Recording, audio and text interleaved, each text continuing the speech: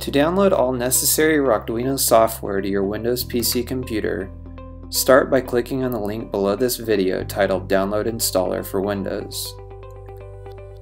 After you click on this link, the installer will start to download.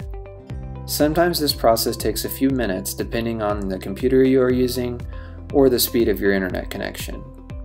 After the installer has downloaded, you may have to bypass several prompts from your internet browser and computer that will confirm that the installer is from a safe and identified developer. Select Keep to complete the download and then click on the downloaded installer. Several more prompts may appear. Select Run Anyway to start the installation process. As the installer starts running, it will first install the Arduino software. Select Yes to install Arduino. Continue to follow the prompts to install all necessary Arduino software and drivers.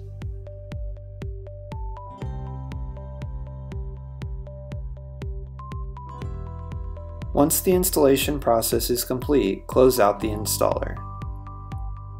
The Arduino IDE software should now be installed on your desktop and ready to use.